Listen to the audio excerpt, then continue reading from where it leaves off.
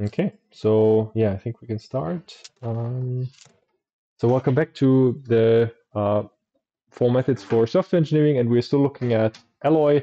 We looked at relations, and then um, we looked at different multiplicities for relations, and we also saw, well, the next thing we wanted to look at is uh, this uh, size operator or number of elements iterator, and this can be applied to any kind of relation, uh, no matter what arity the relation has. So there are these relations with arity 1. Those would be the ones uh, created from signatures.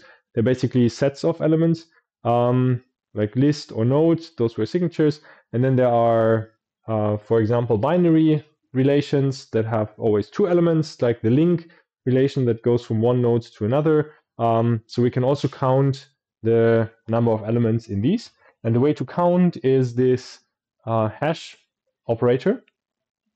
The hash operator lets us count how many elements we have in a set. So for example, here, if we extend our list signature with a field size, and uh, then we have a predicate that says the size is okay, or the size is basically uh, correctly specified, then uh, we would say list.size equals um, the number of elements in list.header uh, this reflexive transitive closure of link. So uh, if you remember what this list.header was, the list.header gives us the first element, this n0, and then uh, the reflexive transitive closure of link gives us um, basically the, well, each element with itself and also uh, the application or multiple applications of this uh, uh, uh yeah like concatenated uh, joins of this link relation so that we would also say well if we can go from n0 to n1 and from n1 to n2 we can go from n0 to n2 that's this kind of closure uh, operator that we had here with the reflexive transitive closure um, so it would basically give us the set of all the nodes that are inside the list reachable from the header. Um, so, and then we can count this, and this would be exactly the size of the list. Now there's one issue. Um, here is the example. Um, so we have extended this. Uh, this was our list um, still had our header and we had the new element size of type int.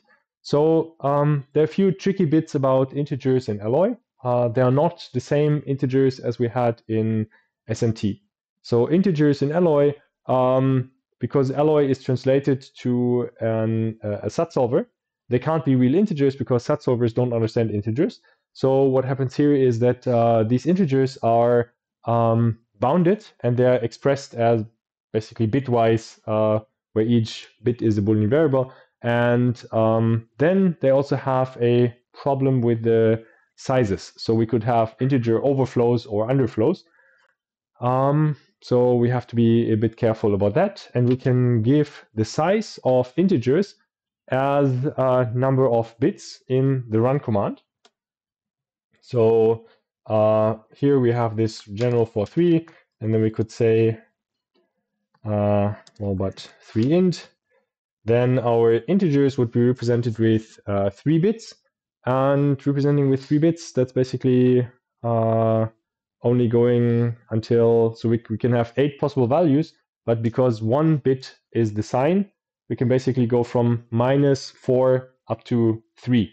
So these integers wouldn't be very large uh, if we just use three bits. Um, okay, if we run this, we're going to see our uh, list and some node. And um, now that's the next issue. This is actually a bug in our uh, visualizer. So this is a, um, yeah, usually you could click show int and you would get the integers, uh, but it just crashes. Um, so that's not nice. Um, what what I'll do is I'll use the uh, desktop application of Alloy, and then uh, I'm going to show you how the integers work uh, sadly, because we, we're still trying to fix this. So once we fix this, it's also going to work on the web, but uh, if we, until we haven't fixed it, integers are not going to show on the web. So in the Alloy Analyzer, we now see here the integers. So here we see our integer. The list has size zero. It's correctly computed. Uh, let's look at the uh, next one, um, showing a new solution. Now the list has a header, and then the size of the list is one. So yeah, this seems to work. Uh, let's go a bit further. So now uh, again, some simple sizes here. Um, looking at integers, ah, let's go back to the instance. So uh, Alloy can also show us a textual representation of the instance that it founds. And this is basically this, this kind of stuff. It looks a bit ugly, but uh, it, it's very, very helpful. It's basically this kind of stuff that we have been looking at the whole time. Uh, these are these kind of relations. So we see that here is the list relation, which is created from the list signature. So it has elements list zero. Um, then there's somewhere the node relation, which is node zero, node one. Um, and we also get the links. Links uh, goes from node zero to node one. So exactly the same kind of syntax here. And then we can see what our uh, integers are. They're basically going from, well, minus four to three because we gave them only size uh, 3. If we extend this, um, let's say to size 4, and we execute it again, then uh, now our integers uh, can go from, well, minus 8 to 7, because we added one more bit uh, in the representation. Um, okay, so uh, yeah, those twice. Open, so toInt, uh, this is would let us basically go from uh, no. Ah, I need to run again and open the instance again. Uh, yeah, in this would only let us count from basically minus two. I don't know how they order it. It's a bit uh, strange. Is it alphabetically ordered? Maybe it's alphabetically ordered, although uh, doesn't make much sense here. But yeah, uh, that's basically uh, this set. And then um, now uh, the question is what if we say that everything that we had this uh, all nodes in list, right? Uh, so that we don't have these kind of dangling nodes, which would be a bit boring uh, because then we get so many instances. So how do we say that all the nodes are in this one list? We say list dot header dot link, uh, and then we say ah we could we could say node equal. Um, so the ah, you can't really see uh, the uh, set of nodes that we have is exactly all the nodes that we have linked in our list. Now let's see what this gives us. ah, and let's go back to visualization, right? Uh, so now we can have, uh, yeah, this list here uh, no nodes yet. Now we have a node. Now we have uh, two nodes, and the size of our list is minus 2. Hmm. Didn't we require? Uh, where is it? Ah, come on. Mm, yeah, okay. Uh, we required that the size of the list equals uh, the number of elements in the list, right? The number of elements in the list are two. How come it gives us the size minus two? That's because we have an integer overflow. Um, we saw that the uh, possible integers that we could have, it can only count basically zero, one, and then if it tries to add an one to one, it ends up at uh, well minus two. It wraps around. So this is like in uh, in most programming languages where you can have integer overflows or underflows. Uh, but here our integers are usually much smaller than in most programming languages. Um, we can of course try to get larger integers. Um, so for example, um, yeah, I don't know. What's in Java? An integer has 32 bit, right? Hmm. Mm, okay, uh, we can't even represent that. Uh, so let's say uh, that, and then suddenly everything gets really slow um, because it now tries to represent. So it, it's still trying to work. Uh, it's still working uh, because it now tries to represent those integers that it has, which are not many, right? It's only this this kind of one uh, this one integer here now tries to encode it in sat variables. So Alloy is really bad at integers, at arithmetic. So if you want to do any kind of arithmetic, um, yeah, it ran out of memory. Uh, okay, uh, then don't don't do it with Alloy. If you want to do arithmetic, do it with uh, SMT, for example. If you want to do structures, yes, that's something with Alloy. Uh, wow, it, I already gave it 16 gigabytes, um, and that's the maximum I can give it. Okay, yeah, so just uh, yeah, uh, 30 might be a bit too much. So, well, we, we, we know how high we have to count, right? We have to count maximum to three. Um, and then there's no other arithmetic. So if we want to count to three, then actually uh, three bits are enough because then we can count up to, well, exactly up to three. Um, so now if we run it, uh, we should get more meaningful instances. Mm -hmm. Yeah. Size 2 now. Size 3 now. And that's it. Uh, that Those were all the possible lists we could have if we want uh, all of them to be in there. Okay. So yeah, that, that much about integers and, and counting the size. Uh, there's also this uh, option, and I think this was turned on by default, maybe uh, you can let it prevent overflows. So there's this uh, prevent overflows. And now let's see what happens if we want, uh, if we reduce it again so that we might have an overflow. So we find again our size of list zero, our list of size one, and that's it. No more find, no more matching assignments because now overflows are prevented. But this basically means whenever an overflow would be necessary, there's no instance. It, it says there's no instance I can compute. So now uh, we get a different kind of behavior that is related to overflows, um, but it just rejects instances where overflows would happen. And that's probably not what we want, right? Uh, so whenever you use alloy integers, um, yeah, make sure you calculate what is the maximum that you might have to uh, count, and then uh, you should be fine after setting this large enough. I mean, we can probably also go to five, uh, stuff like that should be fine. Yeah. It just gets uh, exponentially more complex if we increase the number of bits in the integer. Okay. Um, yeah. That's about uh, sizes. And um, then, of course, we can compare integers. So we can have also some kind of yeah comparison operators. These normal uh, greater than, uh, greater equal. So they they just work uh, the way we are uh, we, we, know them.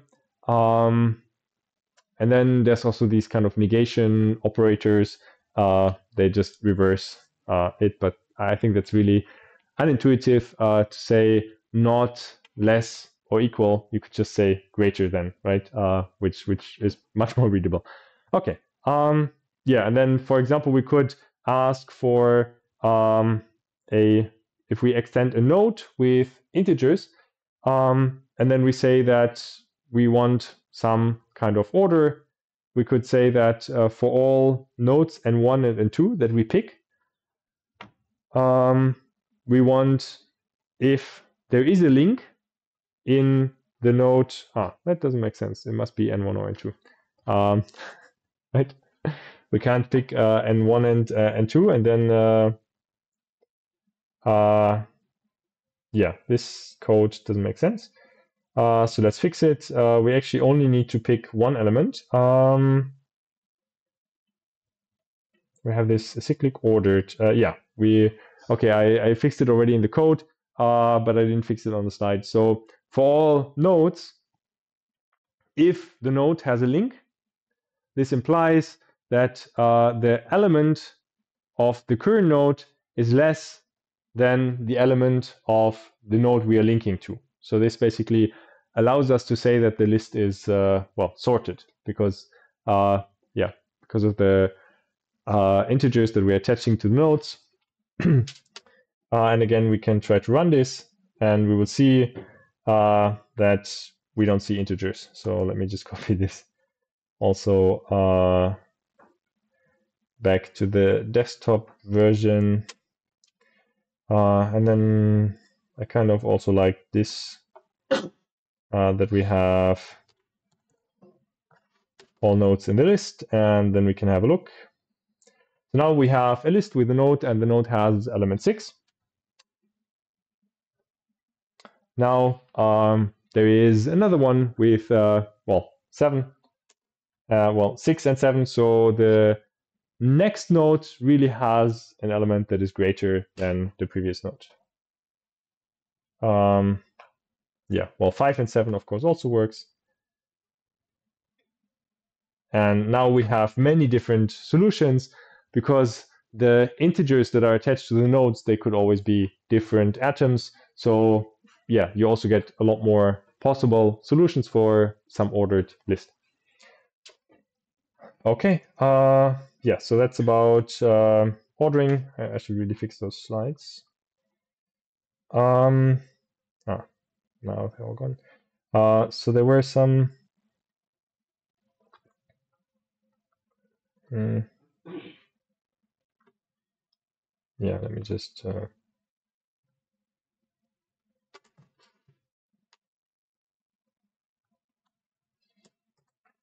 fix the slides right away and then I'll upload them later. Um, yeah, that should be fine. Okay. Um, is anybody taking notes on the slides directly? Right now? Well, not right now, but yeah, I'm sorry. The I'll update the PDF. Uh, yeah. Okay. Um,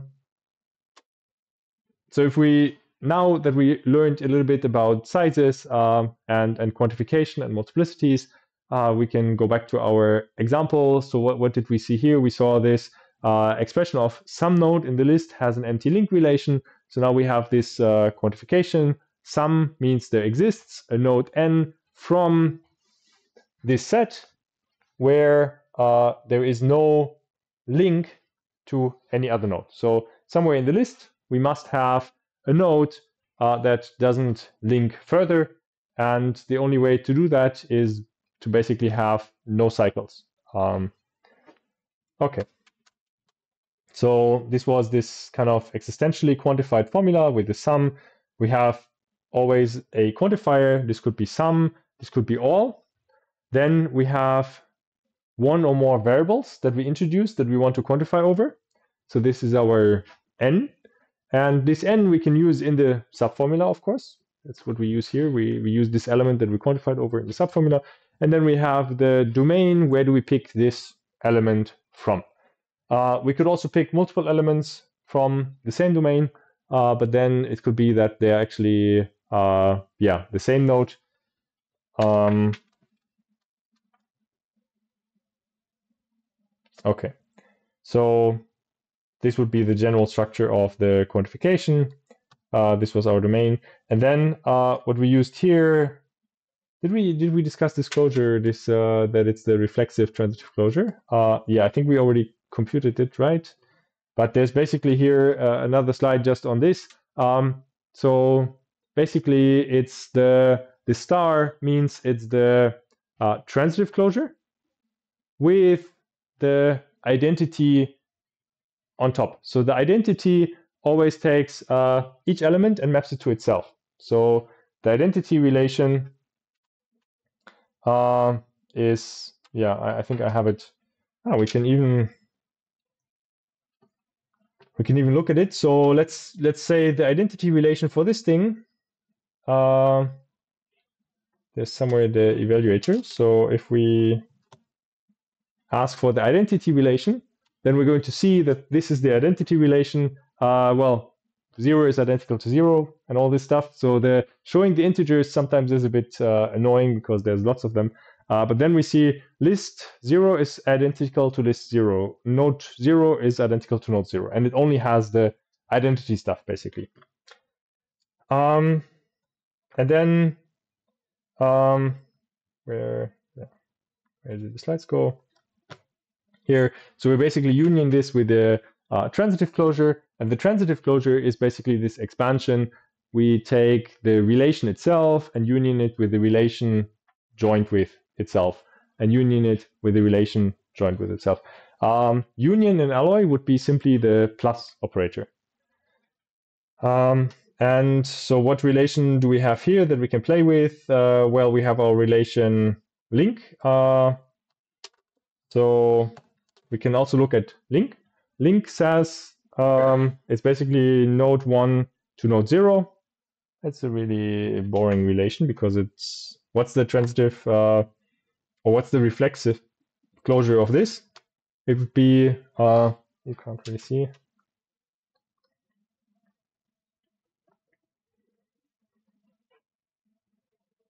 So here, uh, this is the, let's maybe get another one. So this is a really boring relation here because if we basically do link dot link, it's already an empty set, right? Because there's nothing on the left that also matches uh, on the right. So uh, let's see if we can get a more interesting. Uh, we, we cannot do that here. Node. Uh, the links are okay. We had uh, this other one, which was a bit more interesting, I think. So Let's get a longer list. Okay, that's it. Um, now our evaluator. Uh, okay, so hmm, and I can put it back here. So this is now our link. Uh, this it, it still keeps the old stuff. Uh, so just ignore everything above because that's from a completely different instance. So it doesn't apply anymore. Uh, now this is the link relation. Um, it links node 1 to node 0 and node 2 to node 1. Um, so now that's the relation itself. And if we do link dot .link, if we join link with itself, then it basically uh, takes each pair, uh, and tries to combine it with each pair on the right. So we basically take this, copy it here, and then we see, well, this one ends with a node zero. The first line here would start with a node one, so we can't join this. Uh, nothing will happen. Um, the second one here, um, well, this one here, sorry, this one ends with a node one, and the first line starts with a node one, so we can join this. And the join of basically the last line and the first line would be node 2, uh, node 0. That would be the new pair that is created in the join. Um, are there any other pairs? So we would have to look, is there anything else where we have an element on the right that matches an element on the left? No, we don't have any other one. We only have it for this uh, node 1. So this is the join if I join link with link. So um, yeah, I joined them on the, let's say the, the uh, right and left elements, and then what is left is n2 and 0. Uh, now we said that the transitive closure is link union, and union in alloy is plus. Uh, link.link. Link. It shows like if, if there's an element common to other elements, then it shows it as like that. So basically means uh, this one is linked to node 2 and this one is linked to node 2. Um, then we said the transitive closure goes further and also takes the three joins. So we, we also need to join it uh, link dot link dot link. Now that is empty. That is empty because, well, uh, the result of link dot link was basically this one up here, right? Uh, and we see that if we copy this thing next to it, uh, then this one only has node zero on the right, and this one would only have node 0, uh, node, sorry, node 2 on the left, and 0 and 2, they're not the same, so we can't join them. And now we have the empty one, and then if we join the empty one again with link, we will end up with, again, the empty one, right? So if you have no tuple in there, anything you join with the empty one, it's immediately empty. So uh, uh, yeah, this this basically, I think the empty one is none. Yeah, so if we join none with link, it's empty. If we join none with uh, int, it doesn't like it uh, because uh, no, well, int is uh, maybe special. Let's try ah because int is uh, not a relation. Well, uh, let, us try uh, to join it with uh. No, doesn't like it. Um, type none, right hand side is, oh, okay, doesn't like the types. How come it liked link as a type? Hmm. Mm, I don't know. Um, okay, so uh, none doesn't join with every uh, with all the things, uh, only with maybe binary relations. I'm not sure. Okay, um, good. So, but basically this means that now we can stop uh, trying um, and yeah, this this other thing uh, link dot link dot link. This was the empty set, so we're just ending up in a in a stable place. So uh, that's why it's called also the, the closure, because if we do this infinitely long, we know we don't have to, uh, but at some point it will kind of stabilize. And uh, that is the value that we want. So this is the thing we're looking for. That's the transitive closure. And now we said, well, the, this is the definition of the transitive closure. And then we, we said before uh, that the reflexive transitive closure is simply the union of the identity with uh, that thing. So we can just add uh, the identity also. Um, ah, then we have those integers. Okay. Um, and then it, uh, yeah. Actually, it should be, uh, this identity is really not the right identity, I think. Uh,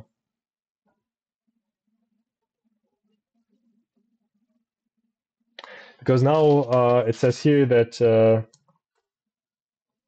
the reflexive transitive closure of link. Uh, did we get that? Ah, okay. So the reflexive transitive closure of link is uh, exactly the same as this identity thing. Uh, no, where was it? Here.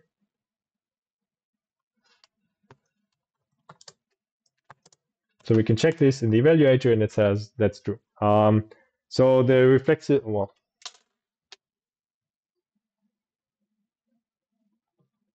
so the uh, reflexive transitive closure apparently also contains uh, other elements that uh, are in the identity relation, but then also everything in link.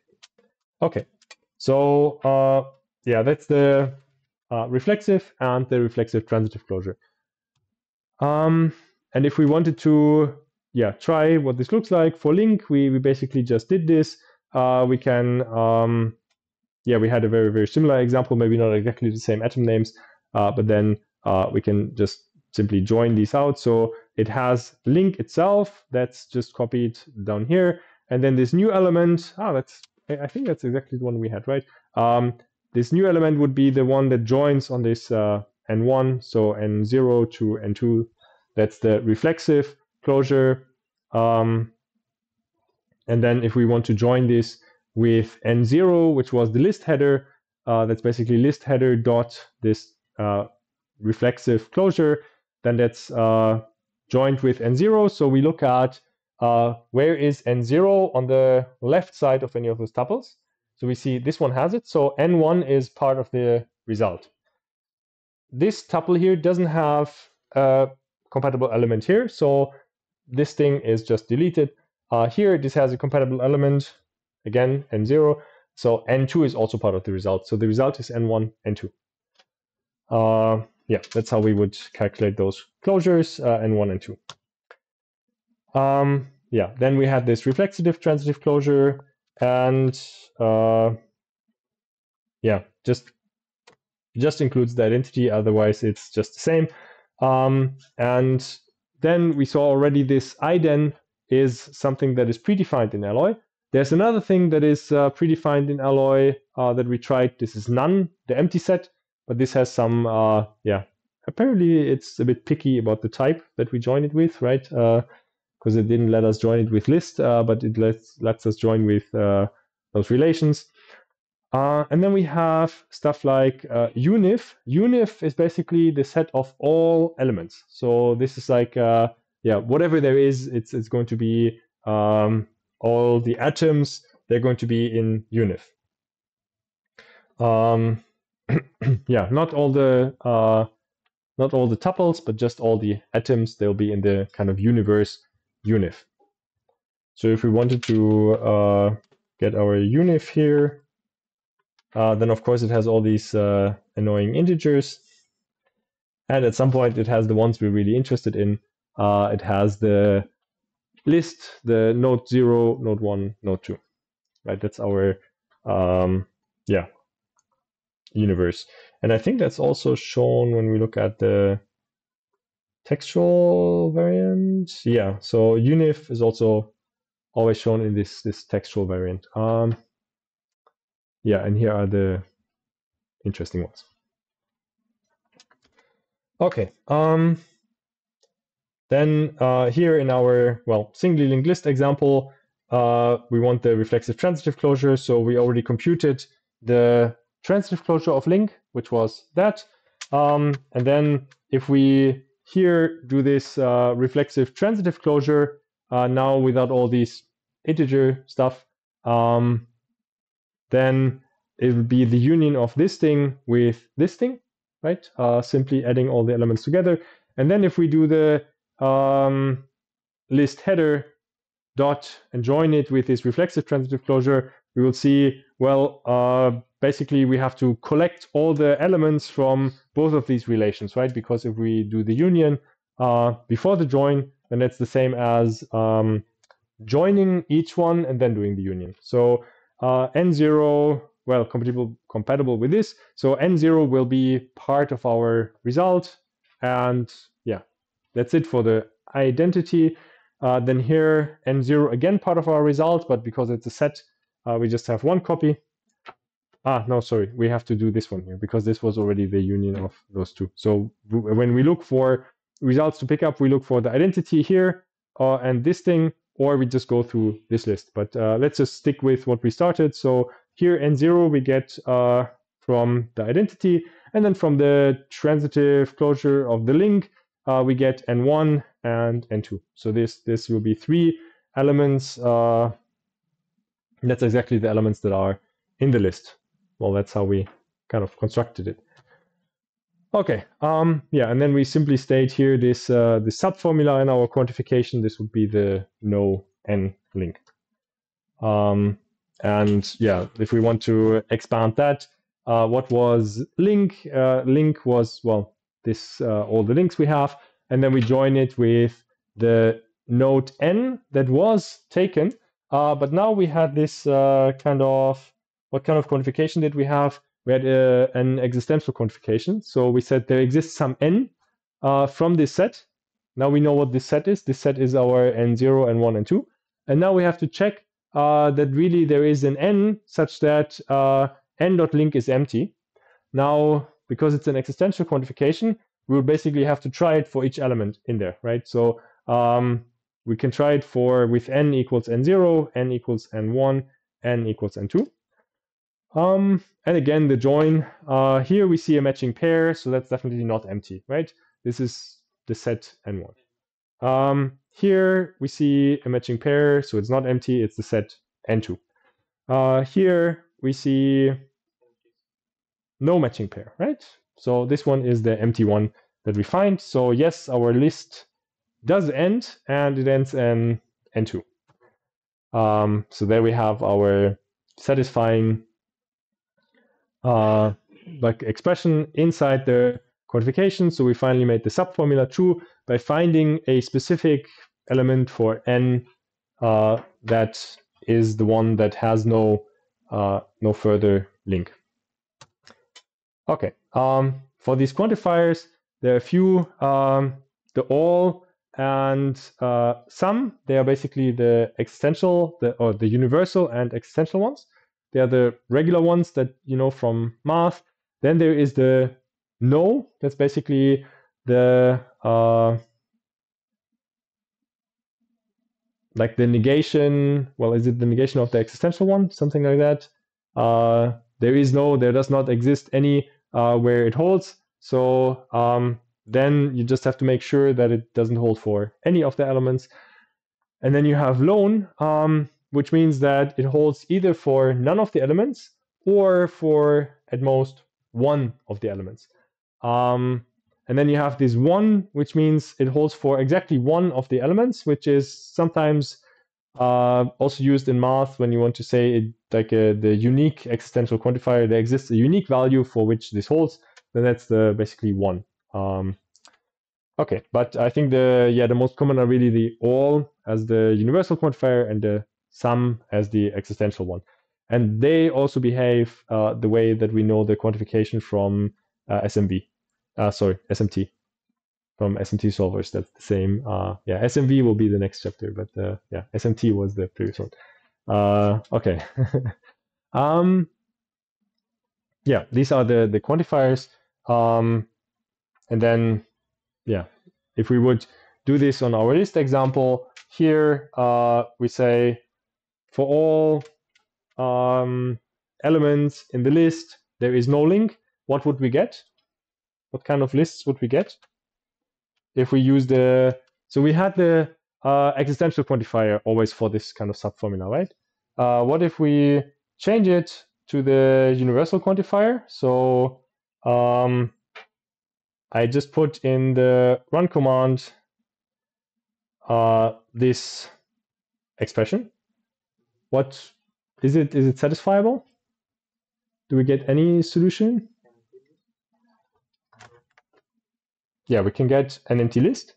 Can we get more than the empty list? We can get a list with uh, one element because that still satisfies it that all the nodes in the list. So, well, there's this this node, right? Um, it has an empty link. Yes. Uh, can we get a list with two elements?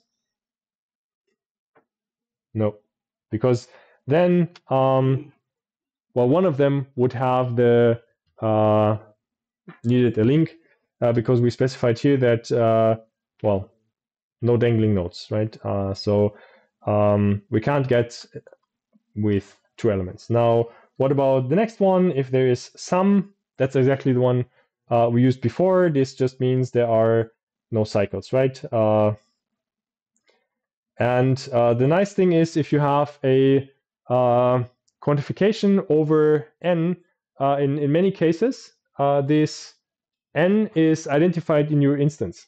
So it actually says which one did it pick as the n. Uh, well, and of course it has to pick the last one because that's the one with no link, right? Uh, in, in the list has to end somewhere. Um, yeah, and then it always has to pick the last one.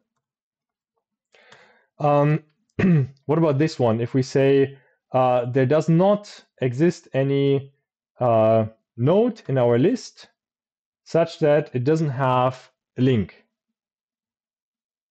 Um, so this means basically, if, if you negate it, it means all elements in the list must have a link. Um, is that possible? What would be an example? Would the empty list still be an example? Yes, because uh, for the empty list, there wouldn't be uh, any link, and then it should be an example. Uh, but this one is, of course, also an example um, because here there is no node which uh, doesn't have a link, because if we pick this node, then of course it has a link. It has a link to itself. So now this is uh, actually forcing cycles in the list. Um, sorry? Ah, no. Well, now this this was always the fact about the cycles. Yeah. So yeah, yeah. The empty list is still possible, but all the other lists they basically need uh, some cycles. Now, yeah. Okay. Um, and then lone. This uh, would what would this give? So this means there's either zero that do not have a link, or uh, there are uh, there is exactly one that doesn't have a link. Um, this means what what kind of lists can we have? This one is one where we have um, one which sorry uh, yeah lone. So we we have one which doesn't have a link. That's fine. Um, and then it's the one where we don't have one which doesn't have a link. yeah, and then here again, uh, so that's basically getting us back uh, our uh, lists, but they still allow um, cycles because there could still be one node which has, um, well, there could be one node which ends the cycle, but then uh, it could be also that all nodes have some links back. So yeah, it allows the cycles back. So this one is not very meaningful. And then this uh, exactly one, uh, what does this give us? It says exactly one of them has no link. Uh, this then is the same as uh, here we had, ah yeah, I think that's the same as the some because um, we also require that all the nodes are in the list. So this means we can anyways, even with the some, you can't have two nodes which don't have a link. Uh, so that's why uh, the one, the instances that we get here are the same as the some, but that's not in general. That's just because of these restrictions of our list structure that we say, well, can have at most, uh, sorry, it can have at most one node that is linked to, and all the nodes must be uh, inside the list. Okay, um, so then let's use our quantification and uh, revisit our um, this drinkers paradoxon with the pub when uh, like uh, there is someone in the pub such that if they are drunk then everybody's drunk right? So um, what is a good way to uh, express this now in alloy? Um, we have a few things where we have quantification. We know how to do this, right? This is existential quantification, so uh, this would be some, yeah. Uh, then we have here universal quantification. This would be the for all, or all, yeah.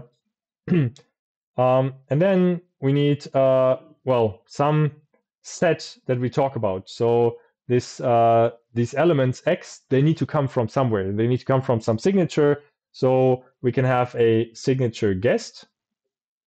And then um, now we we might have different ways to represent this uh, predicate drunk.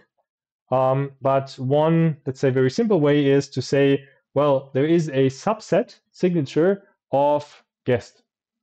Those are the ones that are drunk. Um, now we can have a predicate drinkers, and then we run this predicate. So uh, we could yeah, do some experiments here. So yeah, we have one guest and the guest is drunk. Okay, uh, but we didn't specify anything yet, right? So uh, we might have two guests, one of them is drunk. Um, we might have no guests. Okay, so um, we can of course force some of these. We could say uh, drunk equals guest, right? And then uh, all the instances we ever get, all the guests will be drunk. Uh, we could say also other stuff like uh, nobody's drunk or the set drunk is, is empty. Uh, then we can still have guests. Just none of them are drunk. Okay, so that's kind of the mechanism of this subset signature. Um, but what we really want to say is um, oh. now let's scroll there so we can have it side by side. Um, yeah, what we really want to say is this, this kind of quantification, uh, this one here. So how do we do this? We said for the existential, we do a some, right? Some. And the variable that we quantify is x. And then we need to set where this x comes from. Um, yeah, we should get the set from guest because if we get it from drunk, then it's clear that, of course, this guest is drunk, right? Um, so we quantify from the guest. There is someone in the pub. This will be just a general guest. We don't know whether they're drunk or not. We we just say there's someone in the pub, so this would be some guest. Yeah.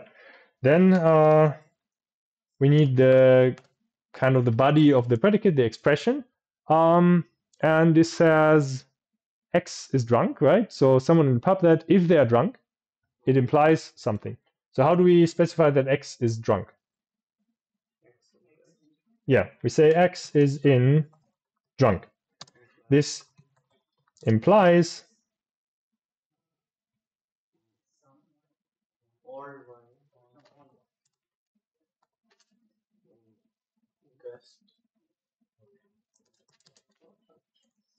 Yeah, we, we of course say then all guests, right? So here it says uh, everyone, which means all guests. So this y implicitly now goes over the set of guests. Um,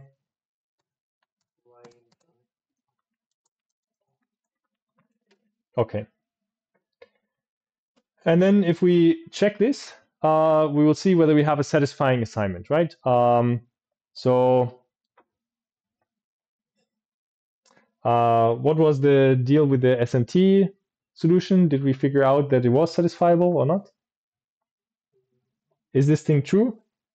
That uh, there's some guest, and if the guest is drunk, then all the guests are drunk. Yeah? Why?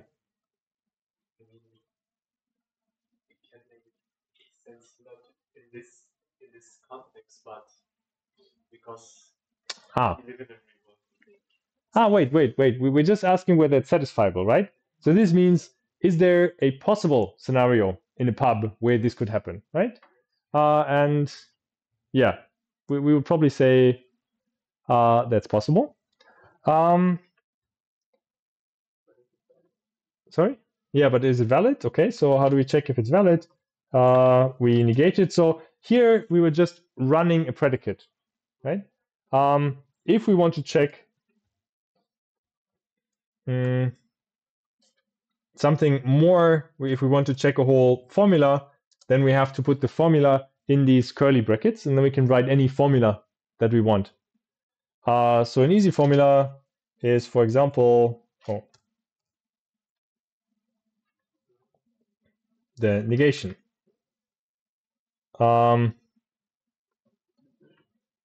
so this thing is also satisfiable for the empty pub, but that's it.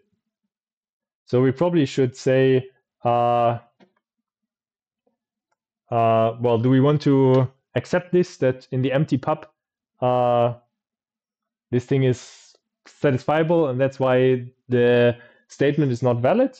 That's a bit strange, right? So we probably want to avoid the empty pub. So uh, we should say and some guest, right? So otherwise the scenario is not so interesting. And then we see, uh, yeah, there's no instance. So this means that in every pub whatsoever, uh, this drinker's paradoxon is true, right? Um, doesn't even have to be a pub, right? Uh, does it say here anywhere uh, pub? So, uh, wait, uh, uh, yeah, another bug is the icons are missing. Uh, we're aware of this, we're fixing this. So this, this should be some icons. Uh, in the search replace, you have the tooltips, but uh, this is replace all. Yeah, okay. And this is a close, good. Um, so let's see if this thing is also valid uh, in this classroom, right? Uh, not We're not in a pub, we're in a classroom. Um, so, well, uh, for, well, three, but exactly how many students for student? right? Uh, and then we, of course, we don't need uh, this one. Okay, so let's see. This thing is uh, done. So if there is some student here. If the student is drunk, then everybody here is drunk. Um, let's look at some examples, right? Uh, very good example. So uh, which one of you wants to be student zero? Let's just number student zero, one, two, three, right? None of the students is drunk. So how come we still make this thing two? Um, it says which student it picked. Student three, so it picked you. Uh, and then it says if you are drunk, and you're not drunk, right? Uh, so this one, uh, well, student three in drunk is false. False implies doesn't matter what, right? This can, could be true or could be false. So this means just because it picked somebody who is not drunk, we can conclude anything. So this thing is valid. This this this uh, this uh, right side here is just uh, yeah valid automatically by picking somebody who's not drunk. Um, so now we can look at uh, some more instances. So even if some of you are drunk, uh, all three of you are drunk now, uh, then and, and he's still not drunk, but uh, it will still pick him and say, well, this guy is not drunk, so false implies anything, right? False implies false, that's fine, right? So it, it checks all students. Well, you three are drunk, you're not drunk, right? Uh, so uh, all students are false, right? Uh, but still, false implies false. So yeah, it's just the way that this is written is not really intuitive uh, for, let's say, the general natural language. Um, we formulated it as there is someone in the pub such that if they are drunk, everyone is drunk. So uh, it would be maybe in a, in a, different, more mathematical way you could formulate it. Uh, you can pick a person and, well, evaluate whether they are drunk, and this would imply that uh, other people are drunk as well. And this evaluation could be false, right? Here we are kind of thinking that this evaluation uh, of that person drunk will be true. That's what we are kind of assuming as a human. If you say you pick someone and they're drunk, but that's not how it works. Uh, we pick someone and check if they're drunk. So that's why this drinker's paradoxon actually, uh, yeah, is uh, valid. So it's it's a tautology. No matter what model you have, uh, no matter what classroom, no matter what pub, uh, this thing is true. Um, of course, if everybody would be drunk, then this thing is true.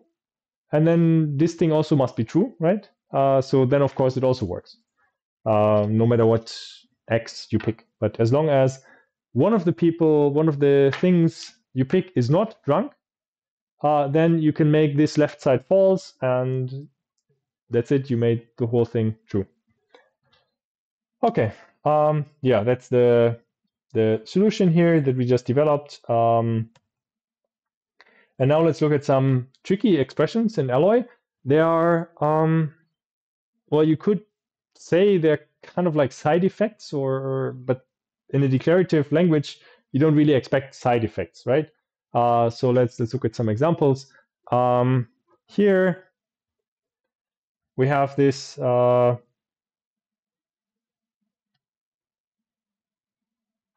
well, it, it, basically lists the, the problem down here. So we have this, this model of our linked list, and uh, we just removed this no list header or uh, from the expression, and we left this some uh, expression here. So how come we no longer get the empty list as a solution? So all the everything we would get uh, would have at least one node. Yeah, I think we mentioned this uh, before. Why? Ah, mm,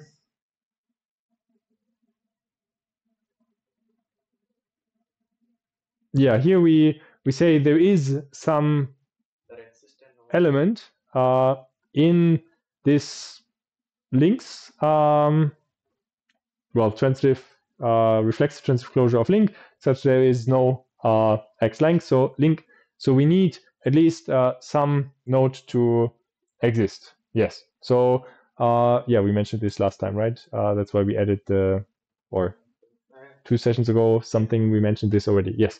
So uh, this is why we can't get the empty list because we have this uh, there is uh, at least one. Um, so we kind of have it over constrained if this thing would have been empty then the formula would have been false. So uh, this existence formula would have been false. So that's why we need one. Um, then what about this one here? We have this acyclic predicate. There is no uh, list dot header. So we put back this constraint. Or, and then we, we basically just simplify the, so we put back this constraint uh, that we can have empty lists or, uh, and then we kind of try to simplify this one. We uh, simply say um, there is some node such that uh, this node doesn't have a link right? So uh, instead of saying there is a node in the list, we just say there is a node.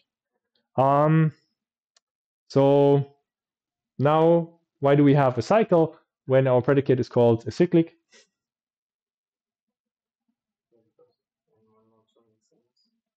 Yeah, now which one is the node that doesn't have further link? It's not n0, right? Uh, it's simply n1. So um, here we don't have enough constraints. Um, if we would have, so here, well, there are two things which we don't have enough. So one thing that we don't have enough is maybe node is too general because we want exactly only the nodes in the list. So we can say only the nodes in the list by replacing node with this uh, list.header dot uh, reflexive transitive closure of links. Okay. Um, or we simply say that all the nodes are in this one list. This would also be fine. So uh, this is an alternative uh, that we could have. I think we probably have this this uh, somewhere. Uh, so here now we get something like that. Ah, that's actually a good example. yeah, that's a bad example. Okay. Uh, we can add more effects. We could say node equal uh, list dot header link. Uh, so everything that's in the list uh, is the set nodes. And then it would be fine. We wouldn't get, uh, it can't pick any node uh, and give it no link that is outside the list because now there are no longer nodes outside the list. So uh, yeah. Ah, okay, and we said uh, node is exactly two. That's why we have only this one single instance. Yeah. So there are different ways to kind of make this under constraint thing again constrained enough. One thing uh, where we could do is the the solution that we always had, where we say, well, we only pick nodes from list.header. Uh, well, transitive reflex closure of link, or we can simply say, well, all the nodes that exist, they are in the list anyways. Um, and that's equally uh, good to make sure that we now have no cycles anymore. Okay, then this one here um, fails to generate this list. Why does it fail to generate this list? We changed uh, the transitive, uh, the reflexive transitive closure only to the transitive closure. So we don't have the union with identity in disclosure. Um,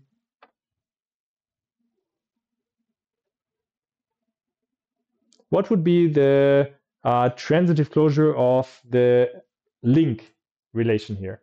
What's the how many elements are in the link relation? Zero. Yes, exactly. The link relation is empty.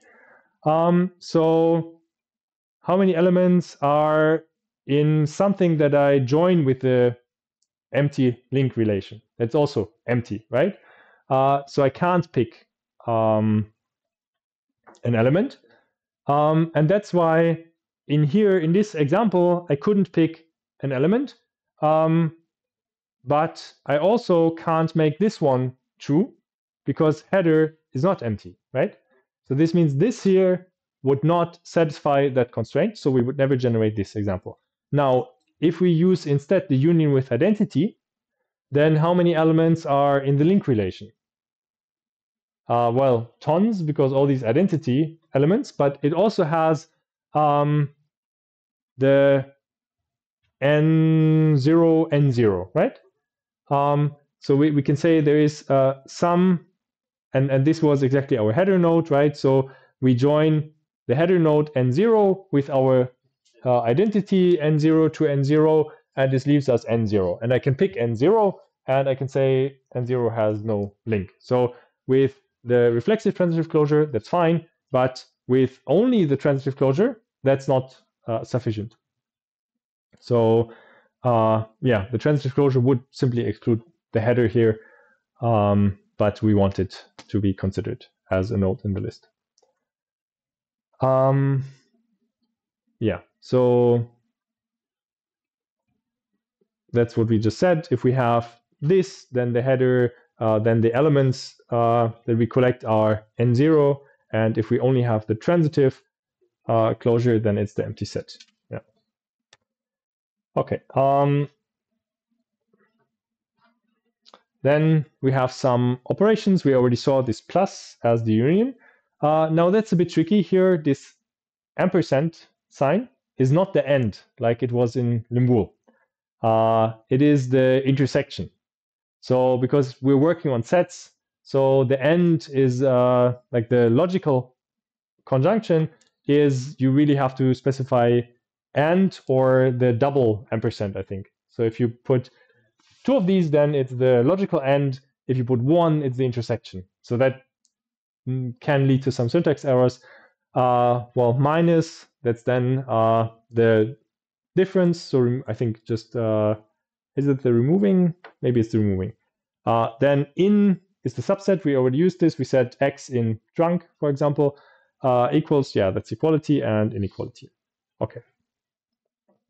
Um, and then to say here that a node is not in uh, the links, you, you could simply put the negation in front of the in, or you simply put the negation outside the whole formula, which is, yeah, maybe, well, I don't know, a matter of taste, uh, whether you want the negation right in front of the operator uh, or just outside the formula. Um, and then there are a few more advanced things. So we saw this kind of arrow. That's the cross product. Um, that's a really, well, a bit tricky one. Um, so let's see, and we, need to go to maybe the evaluator here. Did we have an interesting instance here? Um, so let's say our listing is only one element, right? If we say uh, list list, is going to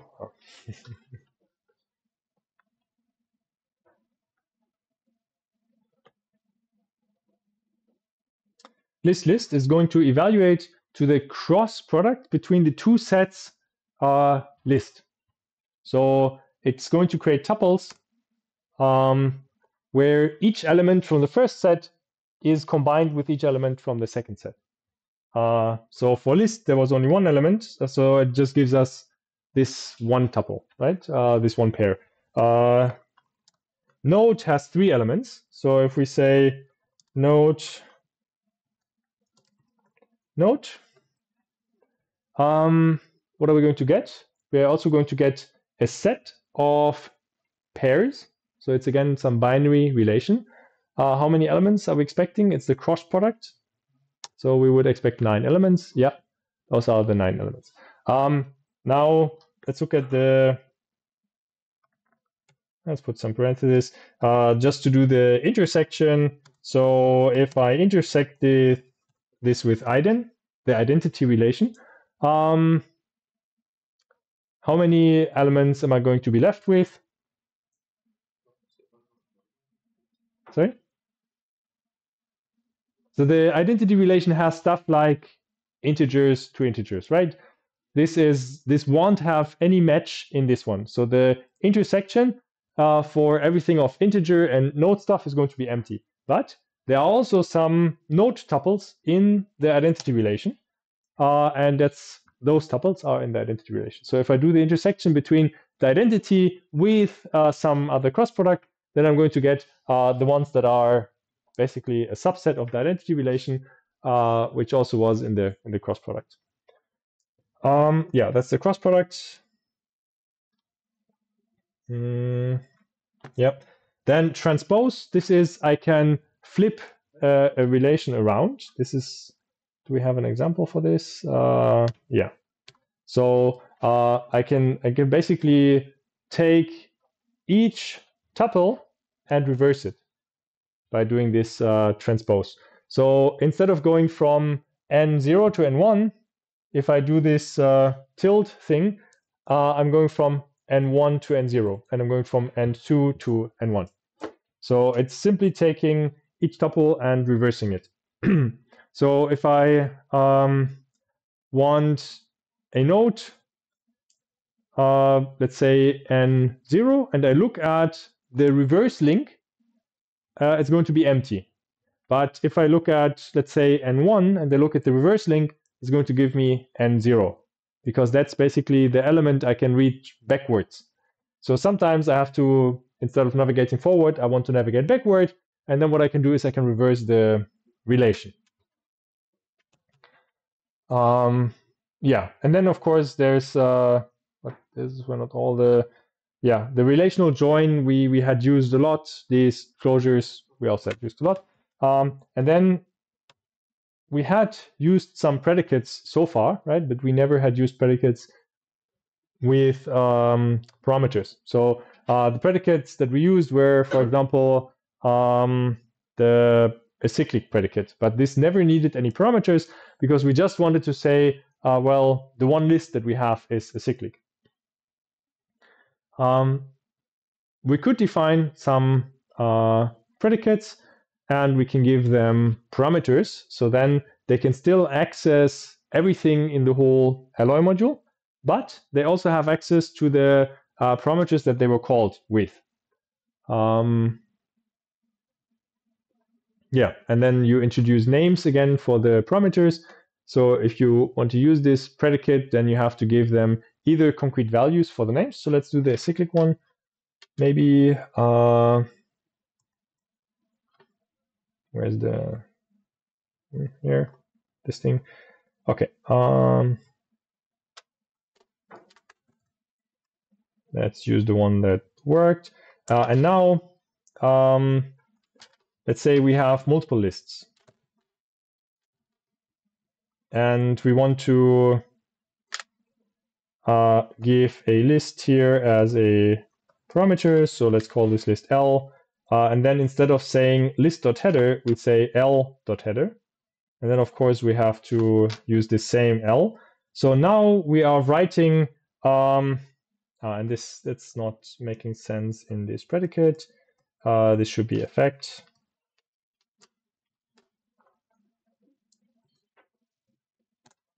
So now our uh, cyclic predicate takes a list and states that this list is acyclic. So if we uh, would simply run, let's say, an empty command, uh, and let's run it for how many nodes do we want? Ah, let's let's just remove this thing. Uh, let's run it for the default. So now we have um, two lists and they don't have cycles. Okay. Okay, now we have two lists and both have cycles. Good. Um, so yeah, now of course we didn't use the acyclic predicate. Uh, we could use it in quantification. So for example, we could say there's exactly one. Well, let's call it LST t in the set of lists such that I have code completion? Yeah. L is acyclic. Uh, sorry, LST. LST is acyclic. Uh, there was a problem. Ah, okay. Mm.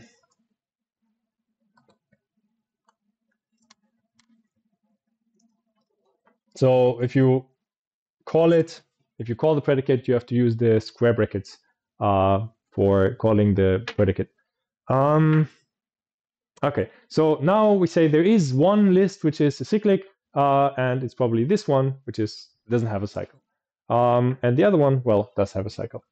Okay, we could also say all lists are acyclic. Now what do we get?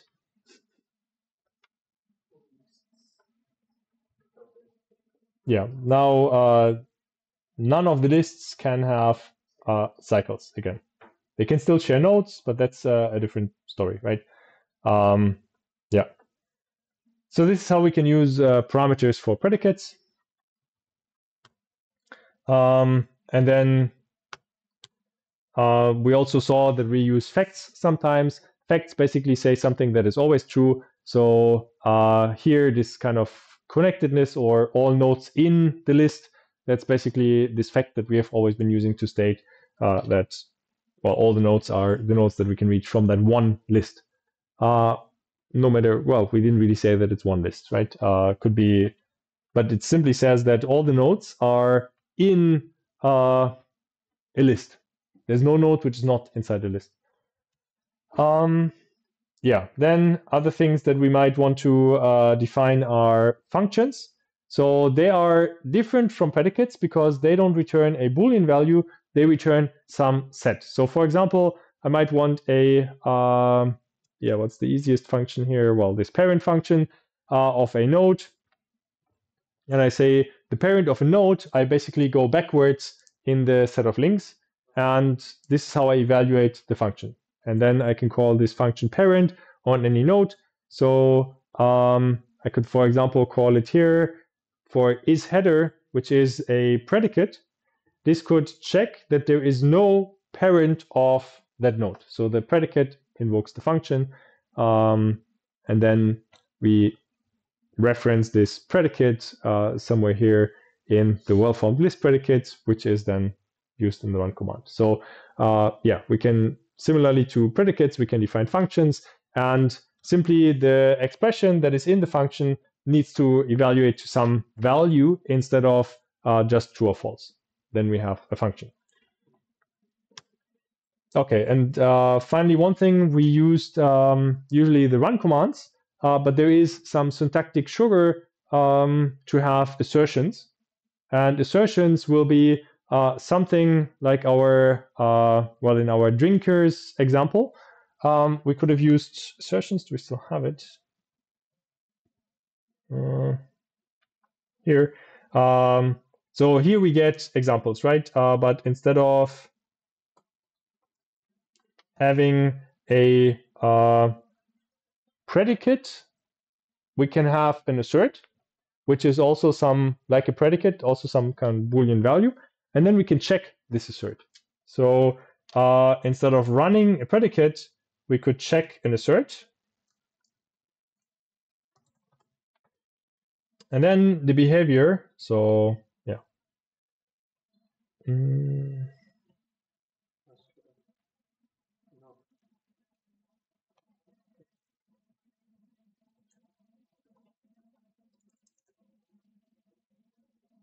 Yeah, so we have to, uh, for, I think for run commands, we can put these things in uh, curly brackets and have expressions. For check commands, we need to have uh, exactly one assert. So uh, that's why we can check the assert drinkers. Um, and now it actually tries to find any counterexample. So it does this negation and run command automatically for us. So we don't have to do this negation manually and then check that there is uh, no um, that it's unsat, uh, we can simply make the predicate an assert and use a check instead. And this checks the um, validity of that. Um, uh, what's the output here? It says no counterexamples. So yeah, I didn't find any instance that violates it. Um, and then it says maybe valid. Um, why only maybe?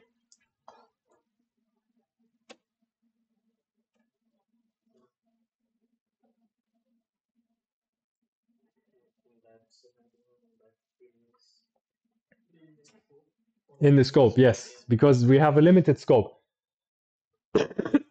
um, we, we can go maximum for four elements and exactly four students, of course. Um, there are probably some uh, things that might work for, that might be valid for three. Um, ah, well, now it's, uh, now it's found a counterexample because it's where we don't have any students, right? Uh, so, uh,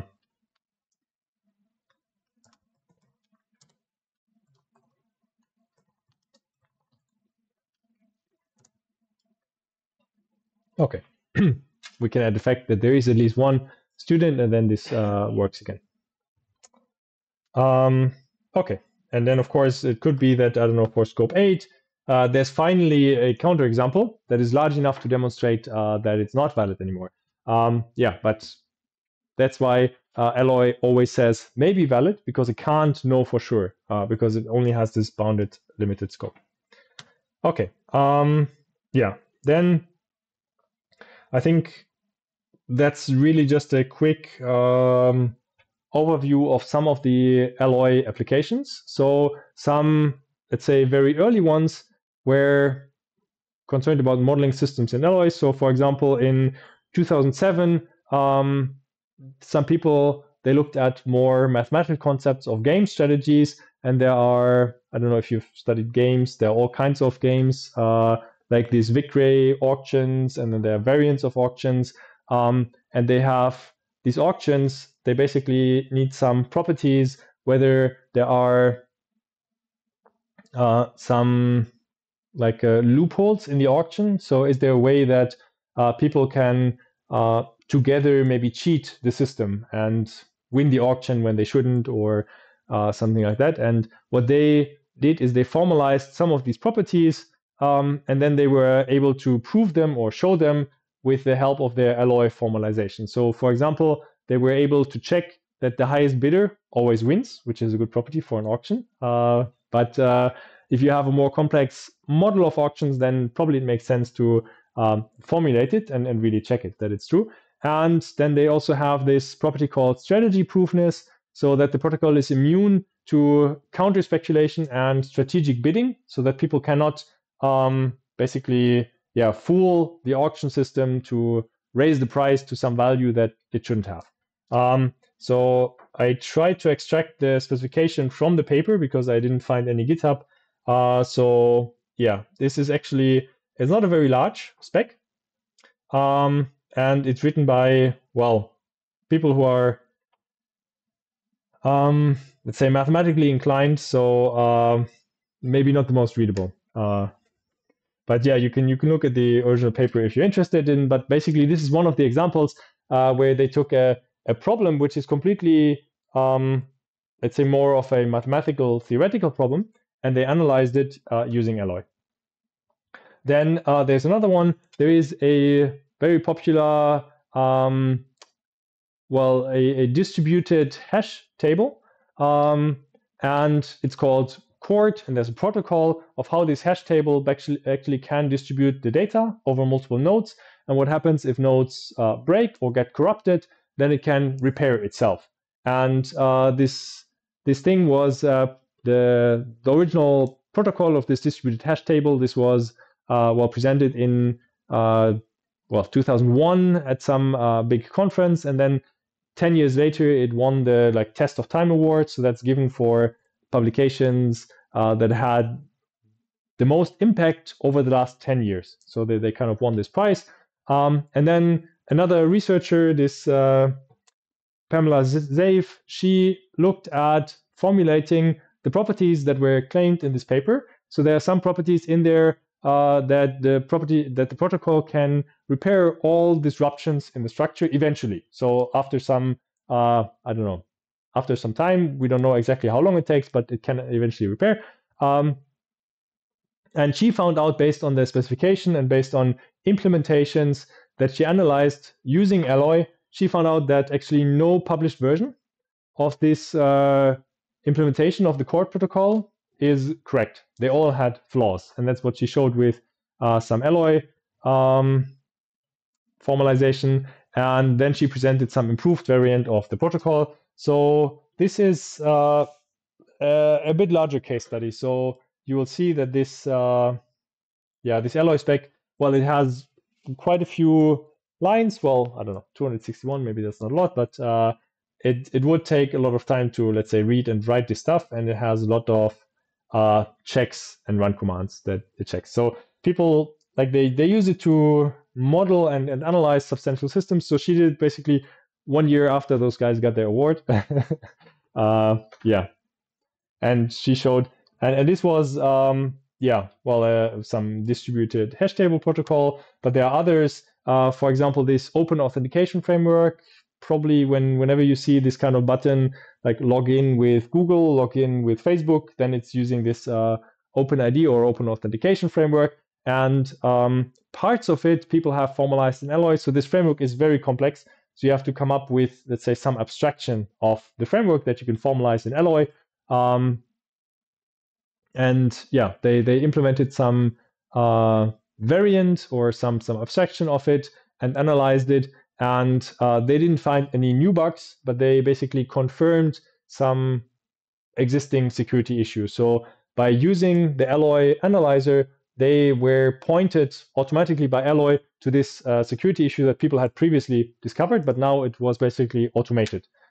Um, and following this work, so this was also more than 10 years ago, uh, now there has been a lot more work where people have integrated Alloy into uh, security modeling and checking so that you can more easily create these specifications for internet protocols. So in, in recent years, people have basically continued with this, but not only manually, but also automatically. So you get some kind of um, different specification of your uh, security property, and you automatically translate it to Alloy, uh, which would be a nice uh, uh next homework, right? Uh, because you have to automate stuff. No, but we already have yeah some something in mind. Okay.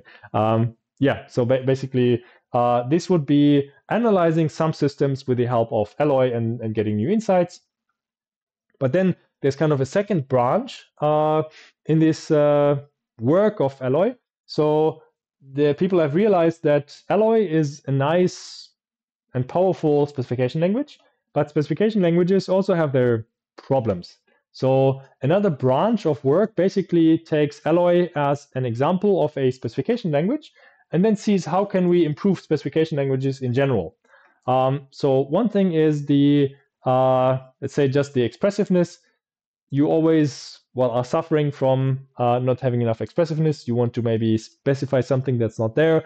Um, and one such example is some higher order logic quantifications. So maybe you want to quantify over subsets of a signature.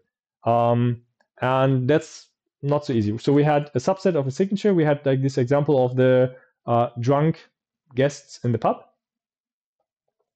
But if you want to quantify over the subset, saying that uh, there is no subset such that people are drunk, or for all subsets such that people are drunk, uh, this is not inside uh, the expressive power of Alloy because Alloy is first order um, logic, and this would be higher order logic. So if you quantify over the um, the the domains um, in the first order logic, then you automatically get higher order logic. Another example is quantifying over relations. So you could uh, maybe want to say that for possible ways to uh, well connect the list, there's no way to do some specific thing. Um, there are some tricks where Alloy is able to do higher order quantifications in a very limited sense. So, for example, if you want to say that, uh, well, uh, there exists a subset of guests such that if one is drunk, then all will be drunk, right? This um, you could quant you could express this with quantification, and then um, you can use the solver basically to say, well, if it finds a solution, then we know that the quantification was successful, and if it doesn't find, then it was unsuccessful. Um, but that only goes for very, very specific versions of higher order quantification. And what these guys did is they basically extended um, alloy to alloy star, uh, where they added higher order quantification. So you can quantify over relations, you can quantify over signatures in all combinations, which were previously not possible. And uh, it is, yeah, not so simple. So it, it kind of uses some um, something called counterexample guided inductive synthesis. Um, what happens is they're trying to synthesize a solution. So it's no longer just finding a solution, it's kind of synthesizing a solution because you have to craft this solution. Um, you start by guessing maybe a possible relation in your quantification. Uh, then you check if you fix this relation, you no longer have higher order quantification because now you have a fixed set.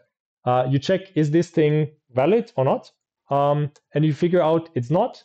Then you kind of do the next step where you try to guess another one um, that follows some properties. So you're, you're, trying, you're basically doing a trial and error. You rule out more and more uh, invalid solutions so that in the end, hopefully, you covered all of them and you either find a valid solution or you can determine that there is no solution. Um, yeah, and, and this can take very long, can be very expensive. Um, and in general, I think the problem is again undecidable. Uh, so yeah, you have uh, to rely on some bounds again. So this was, let's say, a bit more recent, uh, four years ago. Um, and they also did it on Alloy, but they say that it should work on other languages as well. So this this kind of uh, process to lift from first order logic to higher order logic uh, based on counterexample guided inductive synthesis. Although they showed it for Alloy, they said it might work on other languages as well. So yeah, maybe the next SMT solvers will will have it. um, then another one um, would be testing of specifications. So the question is, why would you test the specification when you already specify what you want, right? Sometimes you make mistakes in your specification, um, and you might end up with uh, a specification that you think is correct, but you are not sure. So that's why you could write test cases. And then uh, there was a work that basically developed textual declarations, and then people didn't really like it because writing tests like instances as like uh, this instance should be there or this instance shouldn't be there uh, as text might be a bit difficult. So that's why here this work, for example, they introduced, uh, ah, this was this year, they introduced some graphical test cases for Alloy modules. So um, that's another kind of extension that is more like uh, an extension on top of Alloy. And the last one, um, that is repair of faulty Alloy models. So now you know, well, either you know that you have a uh, fault in your Alloy model, either by testing or just because you have some, uh, let's say, check that you think this check should be valid, but it's not, right? Then how do you fix it? Um, and there are some people who worked on automatically repairing this. So if you have a predicate and your predicate doesn't return any result, then you can ask it to repair the specification. And the way they repair the specification is they try to mutate some of the operators in your spec until they find uh, a spec that now satisfies your predicates and assertions. So um, this will kind of repair your specification based on uh, what you hopefully wanted, but it could be a completely different repair, right? Um, so that's always that's always tricky. Um, so this all this this this work on repairing specifications is uh, still quite quite early.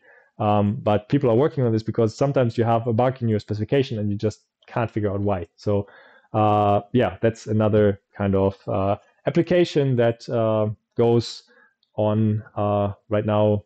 Uh, well, yeah, two years ago. Um, okay, yeah, and then I think that's it for today. So we uh, finished this chapter of uh, Alloy almost. Uh, next session we have the exercise, right? The interactive, uh, the the well automated one where you have to automate uh, some Alloy analysis. Maybe repair. now that's maybe something for the project in the end, right? Because that's that's a bit more complicated. So yeah. Okay, great. Yeah. So see you on Friday.